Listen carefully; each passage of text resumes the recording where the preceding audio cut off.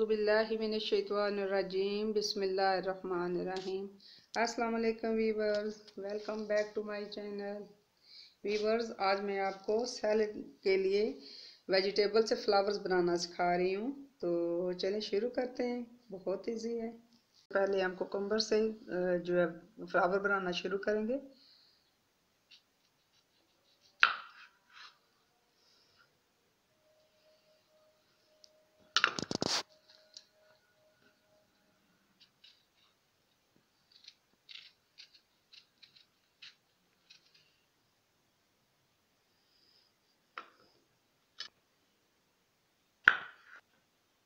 Viewers मैं left hander हूँ, इसलिए मुझे पोजीशन बनानी पड़ती है।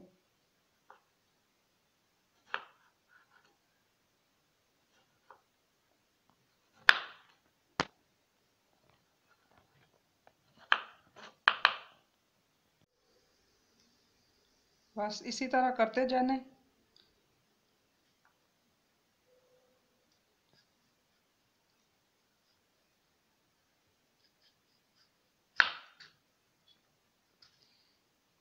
ये इस तरह एक इसका पीस पूरा नहीं काटना, एक को आधा काट के छोड़ देना है, फिर दूसरे को, पूरे को काट लगाना है ऐसे।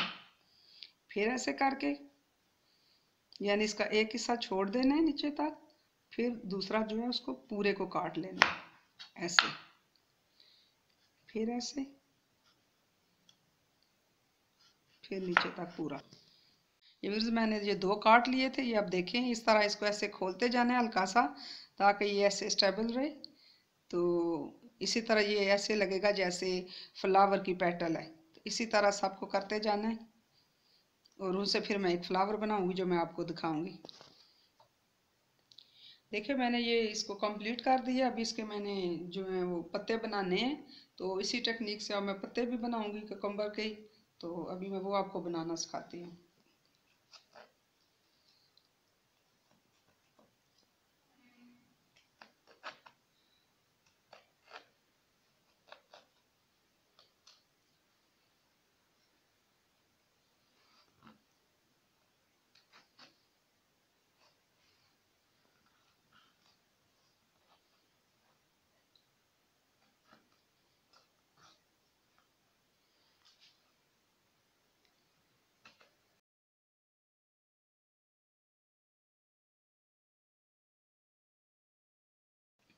ये देखिए रेडी हो गया। ये ककबर का फूल जो है रेडी हो गया। अब हम, वो रेडिश का बनाने लगे हैं, वो आपको दिखाते हैं।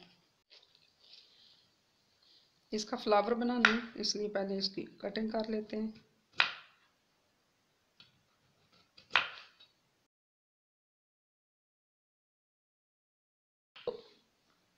ये मैंने इसकी पेटल्स काट दी हैं। अभी इनको ऐसे लेके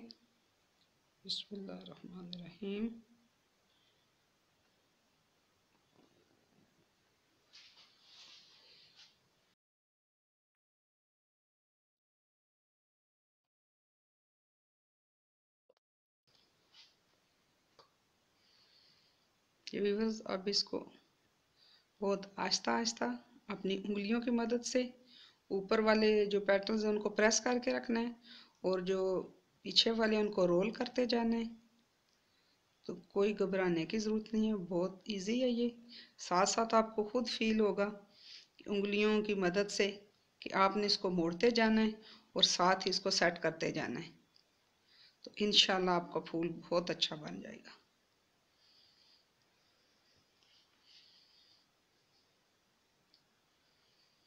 इसी तरह सबको कर लेना है। अब ये टूथपिक से इसको ऐसे इसकी बाइंडिंग कर लेनी है। एक एक साइड पे।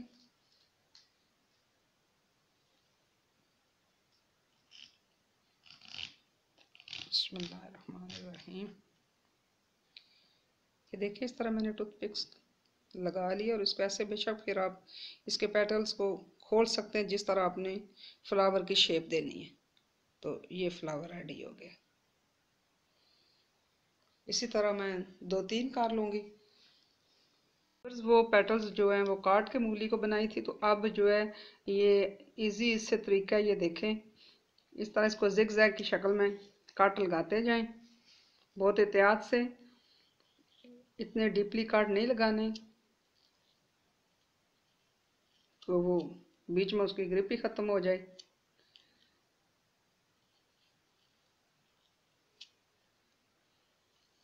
इसी तरह सारे को करना है।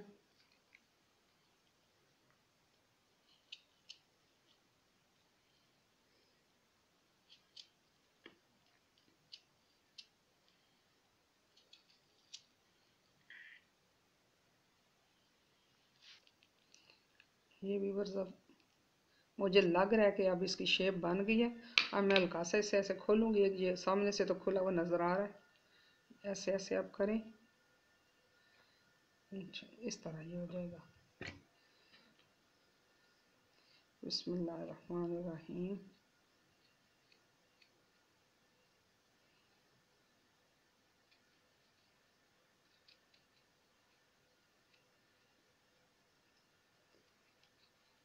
इसको ऐसे करके तो जो मैं अभी कर रही हूँ, ये इसकी दूसरी लेयर बना रही हूँ, इसकी एक और पैटर्न बन जाए।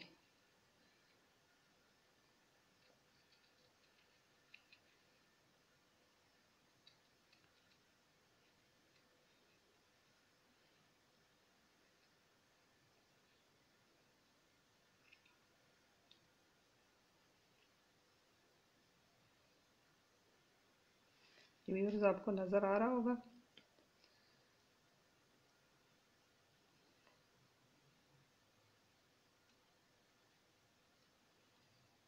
जो इसको ऐसे थोड़ा नीट कर लेना है।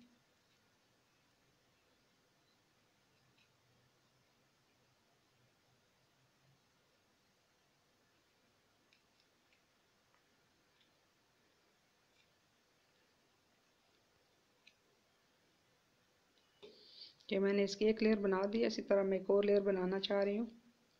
ये आपको नज़र आ रहा होगा। हल्के हाथ से एहतियात से ऐसे बनाना है क्योंकि ज़ाहिर है वेजिटेबल्स तो बहुत नरम होते हैं।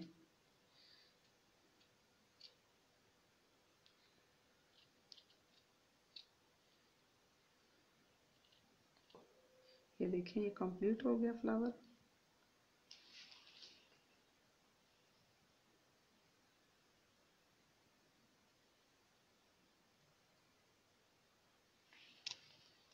ये देखिए बस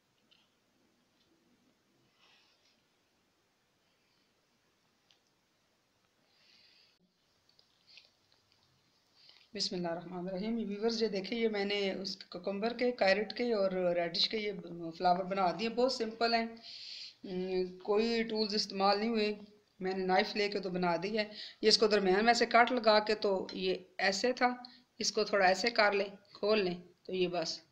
इसी तरह से आप कुछ भी शेप्स दे सकते हैं। अब इसको देखें। ये जो मैंने पहले बनाया था ये कुकम्बर का और रेडिश का। ये फ्लावर बने हुए हैं।